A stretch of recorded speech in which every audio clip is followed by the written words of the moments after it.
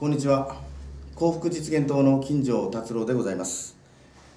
私は2009年の衆議院選挙におきまして初出馬させていただきました。その時にですね多くの皆様に訴えさせていただいたことは北朝鮮のミサイル阻止また中国の脅威を抑止する日米同盟の強化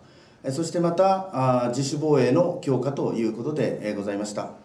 非常に突拍子もない政策を多くの方にお伝えしているような印象をお与えしたかもしれません。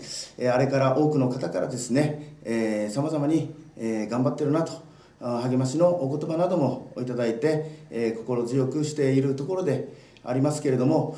あれからですね、北朝鮮は沖縄の上空を目指してミサイルを飛ばしたことは事実。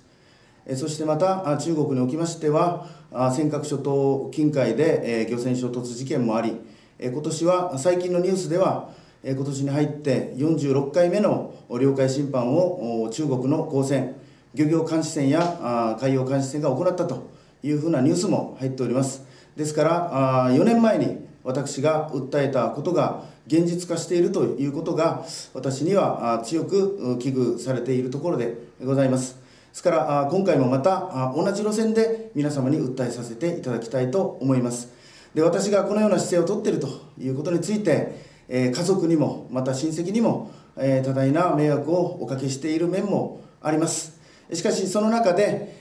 声なき声を上げる方もまたたくさん出てまいりました。どうか皆様のご支持、ご支援を賜って、えー、本当に沖縄県民を守るための政策とは何であるのかということを真正面から論じさせていただきたいと思います。どうぞよろしくお願い申し上げます。